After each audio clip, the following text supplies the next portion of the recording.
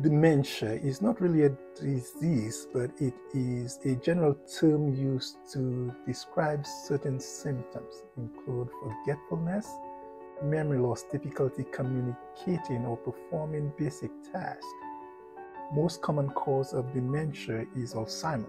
You could also get dementia from traumatic brain injury, from having a stroke, or from the aging process, damage to brain cells, which causes a disconnect in the communication between cells and hence the symptoms.